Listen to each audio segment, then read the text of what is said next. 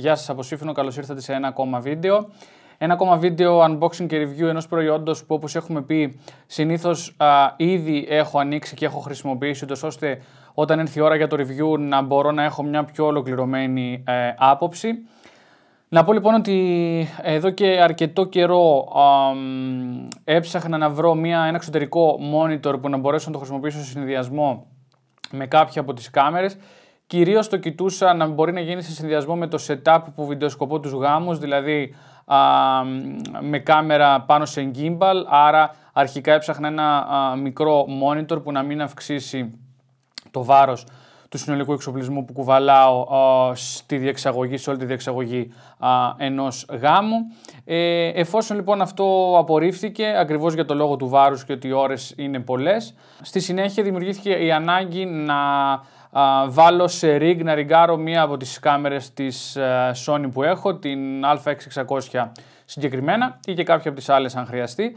Ε, οπότε στην περίπτωση ενός rig που κυρίως θα γινόταν χρήση πάνω σε τρίποδο ή α, μικρής διάρκειας λήψης που δεν θα το κουβαλάς για παράδειγμα 12 και 14 ώρες που κουβαλάμε τον gimbal σε ένα γάμο. Αυτό λοιπόν άλλαξε το τι ζητούσα και είπα να ανεβώ στη συγκεκριμένη περίπτωση σε inches. Α, ψάχνοντας λοιπόν α, και βλέποντας αρκετά reviews και βίντεο στο YouTube, κατέληξα στην ε, εταιρεία που λέγεται Feelword. Είναι μια εταιρεία, αν δεν κάνω λάθος, ε, από την Κίνα, όπως και αρκετές ε, άλλες.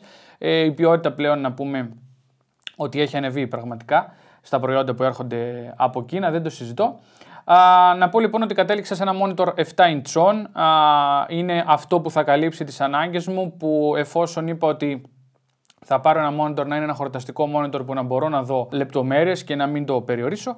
Και επίσης ένα βασικό κομμάτι ήταν η φωτεινότητα. Άρα ξεκίνησα από, το, από τα δύο πιο βασικά, inches οθόνη και φωτεινότητα. Ήθελα ένα high brightness ε, monitor που να μπορώ να το βλέπω σε εξωτερικές συνθήκες που ενδεχομένως να έχει ήλιο. Πράγμα το οποίο με δυσκόλευε και με δυσκολεύει πάρα πολύ με τις μικρές και χαμηλή φωτεινότητα οθόνη ε, που έχουν οι κάμερες ε, πάνω. Οπότε κατέληξα μεταξύ άλλων προϊόντων της εταιρείας α, στο LAT7. Το LAT7 είναι όπως το λέει και το όνομά του ένα 7 inch monitor με 2200 nit α, φωτεινότητας οθόνη, πάρα πάρα πολύ δυνατό, πραγματικά εντυπωσιακό. Ε, και πάμε να πούμε μερικά από τα βασικά του χαρακτηριστικά αφού δούμε το εισαγωγικό βίντεο πρώτα για να ξεκινήσουμε.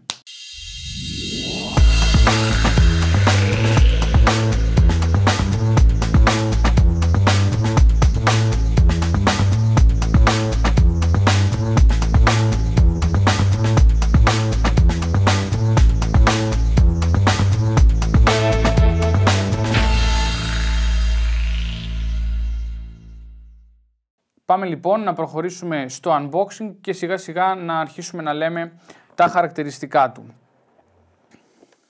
Ανοίγοντας λοιπόν το κουτί, όπως συνήθως βρίσκουμε μέσα τα βιβλιαράκια, το user manual και ένα ξεχωριστό βιβλιαράκι το οποίο μας δείχνει οδηγίες για χρήση της ε, touchscreen και των συντομεύσεων που μπορούμε να κάνουμε όπως swipe up, swipe down κτλ. κτλ.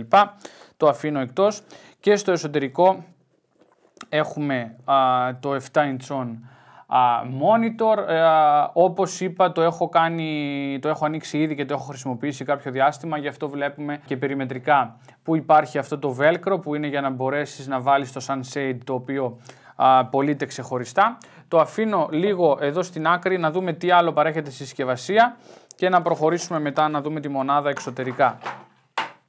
Λοιπόν, μέσα στη συσκευασία επίσης έρχεται ένα καλώδιο Full HDMI σε Mini HDMI με έναν έξτρα adapter για micro. Αυτό σημαίνει ότι μπορεί να χρησιμοποιηθεί σε πληθώρα καμερών που έχουν διαφορετικές, διαφορετικό, διαφορετικό μεγέθους εξόδους HDMI και ένα L bracket εγώ θα το πω το οποίο μπαίνει στο cold shoe της κάμεράς μας και από την άλλη στερεώνουμε το monitor από την αριστερή ή τη δεξιά του πλευρά ανάλογα α, τι μας βολεύει. Αυτό λοιπόν εδώ είναι το L bracket το οποίο μας δίνει και ένα extra cold shoe πάνω αν θέλουμε να προσθέσουμε κάτι ακόμα.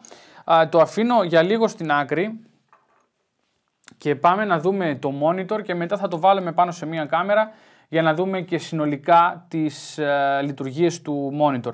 Πάμε να το δούμε περιμετρικά πριν το ενεργοποιήσουμε. Ε, στην επάνω λοιπόν πλευρά όπως ε, μπορείτε να δείτε έχουμε ένα dial button και push button που σημαίνει ότι κάνει μια διαφορετική λειτουργία όταν το πατάμε και το dial είναι για να περιηγηθούμε στο μενού να αυξομοιώσουμε διάφορες ε, ρυθμίσεις, εντάσεις κτλ. Και έχουμε F1, F2, F3, τα συγκεκριμένα είναι τρία customizable buttons για συντομεύσεις στο μενού. Για παράδειγμα εγώ στο F1 έχω βάλει το focus speaking, στο F2 το grid line και στο F3 το zebra. Μπορεί ο καθένας να κάνει assign ε, οτιδήποτε άλλο θέλει. Και όπως θα παρατηρήσετε εδώ στο κέντρο του πάνω μέρους είναι ο αισθητήρας φωτός είναι ο αισθητήρας που μπορεί και κανονίζει τη φωτεινότητα της οθόνης ανάλογα με τις συνθήκες φωτισμού που βρισκόμαστε. Για παράδειγμα, αν είμαστε σε ένα εσωτερικό χώρο που έχει χαμηλό φωτισμό, θα μειώσει τη φωτεινότητα. Αν βγούμε έξω που έχει ενδεχομένως ηλιοφάνεια ή περισσότερο φως, θα αυξήσει τη φωτεινότητα, ούτως ώστε να έχουμε την καλύτερη δυνατή απεικόνηση. Στο αριστερό κομμάτι είναι το power button, το κρατάμε πατημένο για να γίνει η ενεργοποίηση και ένα jack 3,5 mm που είναι πολύ ευπρόσδεκτο για όσες κάμερες ενδεχομένως δεν έχουν jack 3,5 έξοδο για ακουστικά για να μπορούμε να κάνουμε monitor τον ήχο. Άρα είναι πάρα πάρα πολύ καλό και εξυπηρετικό. Και εδώ έχουμε και ένα τέταρτο υποδοχή για τρίποδο, είναι η, η γνωστή λεπτή ένα τέταρτο της Ninja βίδα τρυπόδου που μπορεί να στερεωθεί. Η αντίστοιχη υπάρχει και στη δεξιά πλευρά. Όπως επίσης στη δεξιά πλευρά υπάρχει και το slot για μια Full SD κάρτα στην οποία μπορούμε να φορτώσουμε κάποια LAT και να τα φορτώνουμε την ώρα της προεπισκόπησης live ούτως ώστε να βλέπουμε και το τελικό αποτέλεσμα. Και περνάμε στο κάτω μέρος εδώ αριστερά επειδή υπάρχει και το LAT 7S μοντέλο που στην ουσία μας βγάζει και SDI in-out. Έτσι είναι το ίδιο κέλυφος, απλά εδώ δεν υπάρχουν τα βίσματα. Κεντρικά βλέπουμε άλλη μία ένα τέταρτο της Ninjas υποδοχή για να το βάλουμε πάνω σε κάμερα, σε τρίποδο ή οτιδήποτε άλλο. Βλέπουμε τις δύο HDMI in και out, in και loop out δηλαδή. Και επίσης έχουμε δύο σωληνωτά βίσματα DC in 12V και DC out 8,4V. Πάρα πάρα πολύ σημαντικά. Στην ουσία μπορούμε αν τροφοδοτούμε ε, το monitor μας με δύο μπαταρίες ή μία τύπου F της ε, Sony να μας δίνει 8,4V στην έξοδο, να μπορούμε να το δώσουμε σε ένα dummy battery και να τροφοδοτήσουμε ε, μία κάμερα. Αντίστοιχα, αν δίνουμε 12V είσοδο, πάλι μας δίνει έξοδο από εκεί και είναι πάρα πολύ ωραίο γιατί μπορούμε μέσω αυτού να τροφοδοτήσουμε και την κάμερά μας και να ελαττώσουμε το βάρος του setup μας ώστε να μην έχουμε ε, πολλές μπαταρίες, κάτι που θα πούμε μελλοντικά. Και περνάμε στο πίσω μέρος του μηχανήματος. Επί της ουσίας στο πίσω μέρος έχουμε τα δύο slots για μπαταρίες τύπου F α, της ε, Sony. Ε, επί της ουσίας η εταιρεία μας λέει ότι με δύο μεγάλες μπαταρίες τέτοιες μπορούμε να έχουμε 4,5 με 5 ώρες χρήσης σε normal α, φωτεινότητα οθόνης. Όπως είπαμε όσο πιο δυνατά τόσο μειώνουμε φυσικά το χρόνο α, λειτουργίας. Μπορεί να λειτουργήσει και με μία και αυτό είναι καλό για περίπου ένα δύο ώρο. Οπότε, γνωρίζοντας τι θέλουμε να κάνουμε, μπορούμε να ελαττώνουμε το βάρος χρησιμοποιώντας μία μπαταρία ενδεχομένως ή δύο μικρότερες. Ε, αυτά όσον αφορά τη συνδεσμολογία και το εξωτερικό της ε, συσκευής. Θα το βάλουμε με το L-bracket πάνω στη, στην Nikon D810 ούτως ώστε να μπορέσουμε να το ενεργοποιήσουμε και να δούμε μερικά πραγματάκια. Άρα λοιπόν χρησιμοποιώντας το L bracket. Το τοποθετούμε στο hot shoe της μηχανής. Και Ωραία.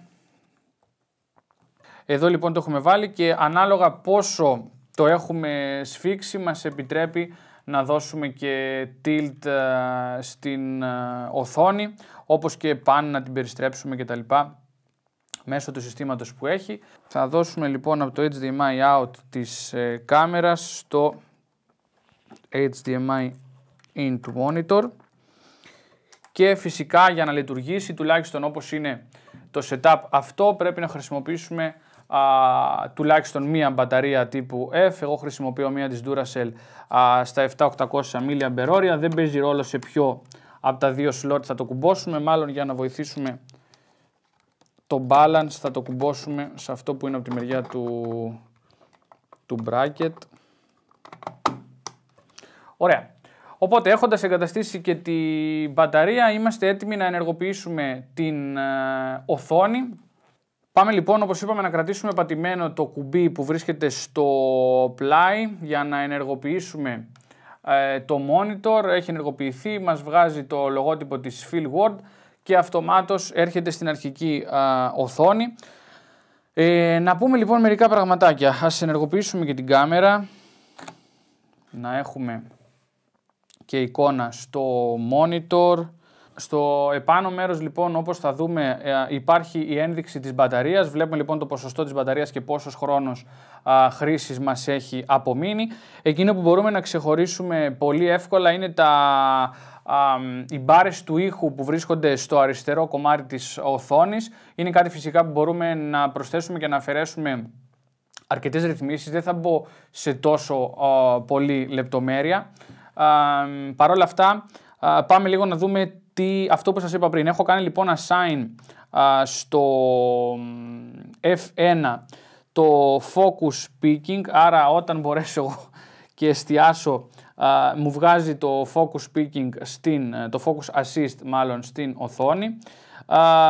το 2 είναι το zebra, αν αυξήσουμε λοιπόν τη φωτεινότητα βλέπουμε ότι εμφανίζει τα zebra lines στην οθόνη και στο F4 έχω το rule of thirds, το, το πλέγμα μου που μπορώ να με βοηθήσει να καδράρω σωστά και φυσικά όλα αυτά μπορούμε να τα ενεργοποιούμε και να τα απενεργοποιούμε. Με τη χρήση του,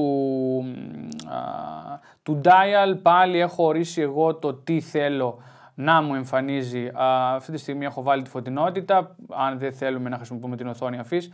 Άρα λοιπόν βλέπουμε ότι με τη χρήση του dial ανεβοκατεβάζουμε τη φωτεινότητα του monitor ή ό,τι άλλο έχουμε κάνει assign εμείς. Να πούμε, να θυμίσουμε μάλλον ότι είπαμε ότι η οθόνη μας είναι touchscreen, άρα λοιπόν μπορώ με ανάλογη χρήση, σύμφωνα με όσα μας λέει η εταιρεία, να ανεβάσουμε και να κατεβάσουμε τη φωτεινότητα του monitor κάνοντας slide στο κομμάτι αυτό, να ανεβοκατεβάσουμε και να κατεβάσουμε, τη, να ανεβάσουμε μάλλον και να κατεβάσουμε την ένταση των ακουστικών και κάνοντας swipe up στο κάτω μέρος βλέπουμε ότι μας δίνει κάποιες πληροφορίες μάλλον μας δίνει κάποιες επιλογές, κάποιο γρήγορο μενού επί της ουσίας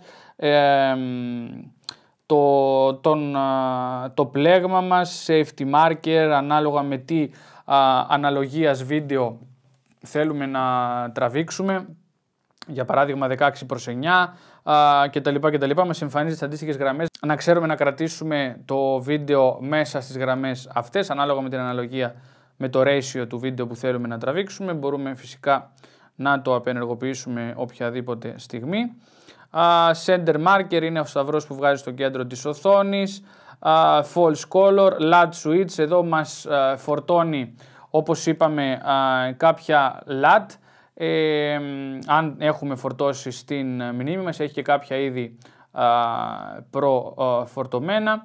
Ε, αυτά όσον αφορά το γρήγορο μενού που βρίσκουμε στο κάτω μέρος και κάνοντας διπλό tap στο αριστερό μέρος της οθόνης μας ε, εμφανίζει το κεντρικό μενού, μας, βλέπει, μας λέει ότι στέλνουμε 1080-50 Hz HDMI in, είσοδο πηγή εικόνας. Λοιπόν, στο πάνω μέρος λοιπόν ξεκινάμε με την εικόνα Focus Assist, Zebra, Monochrome, False Color και Return.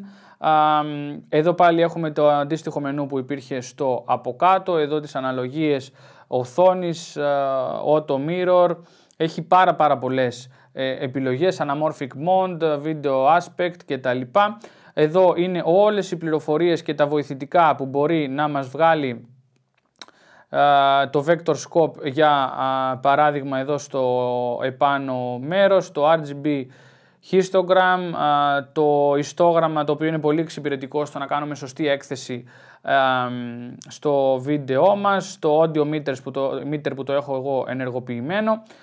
Επίσης διάφορα LUT switches κυρίως για χρωματική επεξεργασία, το color temperature του monitor. Να πούμε ότι το monitor έρχεται προκαλυμπραρισμένο από την εταιρεία, κάτι φυσικά που είναι πολύ σημαντικό. Τη φωτεινότητά του, από εδώ μπορούμε να ρυθμίσουμε αν θέλουμε αυτόματη φωτεινότητα με τη χρήση του αισθητήρα ή να την κάνουμε εμείς manual. Αυτή τη στιγμή το έχω στο manual, sharpness και γενικώ όλες οι χρωματικές ρυθμίσεις που μπορούμε να βάλουμε manual στο monitor. και εδώ κάνουμε assign τα κουμπιά στις ρυθμίσεις, δηλαδή το wheel, αν το περιστρέφουμε ποια λειτουργία να κάνει. Στο F1 έχουμε το focus assist όπως είπαμε, το zebra κτλ. Η γλώσσα, το firmware για firmware update κτλ. κτλ. Αυτό είναι επί της ουσίας το κεντρικό μενού του, του monitor. Έτσι είναι το monitor μας όταν το έχουμε ε, πάνω στην κάμερα. Να πω ότι θα ακολουθήσει ένα βιντεάκι στο οποίο θα σας δείξω το rig που έχω φτιάξει με την α6600 και θα κάνουμε μια γενική παρουσίαση και το πώς το έχω σετάρει γενικότερα που στη συγκεκριμένη περίπτωση τροφοδοτώ την οθόνη με ένα εξωτερικό με μια εξωτερική μπαταρία οπότε μειώνουμε το συνολικό βάρος του rig και να βάλουμε και το sunshade πάνω. Όπως είπα είναι κάτι που το αγοράζεις έξτρα. Είναι με velcro, είναι αυτό εδώ το οποίο είναι εύκαμπτο για να μπορείς να το αποθηκεύσεις και με velcro μπαίνει στο επάνω μέρος του, του monitor. Και πραγματικά βοηθάει πολύ σε εξωτερικές συνθήκες να μπορείς ε, να βλέπεις πολύ καλύτερα το monitor χωρίς να έχει γυαλάδες ε, από τον ε, ήλιο κτλ. Ε, πάρα πολύ ωραίο. αυτά νομίζω ότι είπαμε τα περισσότερα που είχα στο μυαλό μου να σας πω. Αυτά και από το συγκεκριμένο unboxing και review. Νομίζω ότι δεν ε, ξέχασα κάτι. Είμαι πάρα πολύ ευχαριστημένος από την απόδοση του monitor αυτού, κυρίως σε εξωτερικές συνθήκες, με υψηλό φως ε, στο περιβάλλον, να ανεβάζει πολύ τη φωτεινότητά του και έχω μια πολύ καλή προεπισκόπηση ε, στην οθόνη και πραγματικά έχω εξαιρετικό αποτέλεσμα, χωρίς να προσπαθώ να δω από τις μικρές οθόνες τις ενσωματωμένες των καμερών αν σας άρεσε αυτό το βίντεο φυσικά κάντε like, subscribe και καμπανάκι για να βλέπετε κάθε νέο που ανεβαίνει. Σας ευχαριστώ που παρακολουθήσατε και αυτό το βίντεο. Γεια σας από Σύφνο.